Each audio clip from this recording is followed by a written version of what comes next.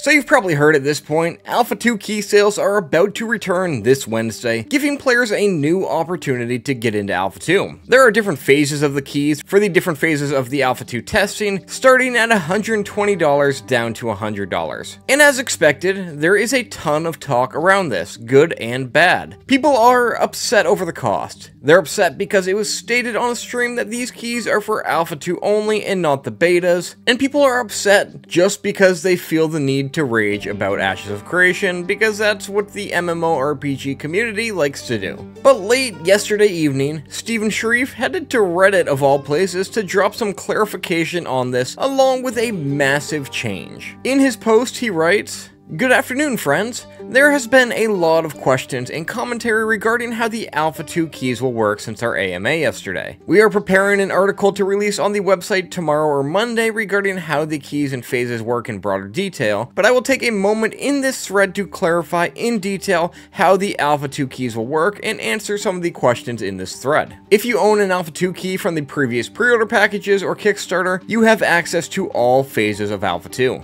Alpha 2 will begin for you the weekend of October 25th. New Phase 1 keys will consist of weekend testing starting the weekend testing beginning November 8th. Phase 2 keys will consist of week-long testing 5 days at a time beginning December 20th. New Phase 3 keys will consist of 24-7 testing and is intended to run until the game launches starting on May 1st. Purchasing into a phase grants access to the subsequent phases as well. When beta starts, the Alpha 2 servers will be live concurrently alongside the beta servers. Players who own Alpha 2 keys, including the new phase, will also have access to the beta server. Alpha 2 Phase 3 is expected to last at least one year, meaning one year from May 2025, so May 2026 at the earliest is when Alpha 2 Phase 3 would end, and this is of course subject to change due to active development. Alpha 2 does not have a subscription cost, and when the game launches, Ashes will not have a box price. The cost behind Alpha Access amounts for server and CDN costs associated with live service products. And while this is not a finished game, it will be a live service alpha that will need updating on a 6 week basis as we build out the rest of the game's content and features. This addresses most of the commentary I've read that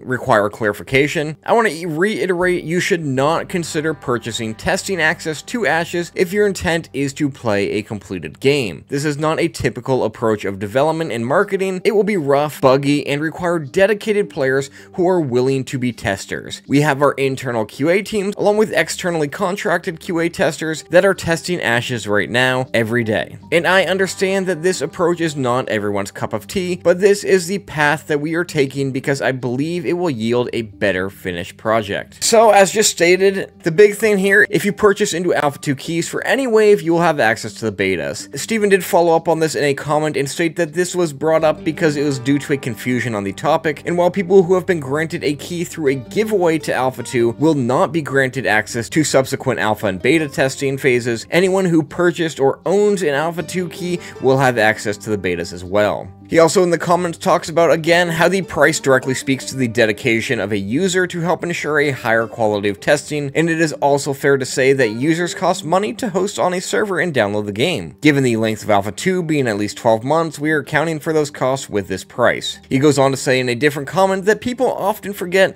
that the primary funding for this game comes from Steven, and neither the company or himself have ever made a profit. It is a passion project, not a project of greed. And speaking of server costs, well, well, this guy on the MMORPG Reddit, coincidentally the other day, broke down the generic cost of running and operating a server for an MMORPG, and the TLDR of this is that a server that an average per concurrent connection per month is about 46 cents in US dollars. So every person who logs into Ashes of Creation is going to cost Intrepid 46 cents. Obviously this price isn't going to be an exact representation of Intrepid because they are messing with server tech and doing doing the dynamic gridding and having more servers online than your average MMO, so that cost could be higher than this. And it's something that needs to be paid for to get Alpha 2 done and keep those servers running, when ultimately Intrepid isn't bringing in any money any other way right now. They are spending millions of dollars per year paying for salaries, they are paying for a studio, they're paying for benefits for their employees, and all of that other stuff that comes with running a company. And if you think a company has over 200 associates and probably an average salary of 75k 5k a year, if not higher, well, then they're paying 15 to 20 million at least in yearly salaries.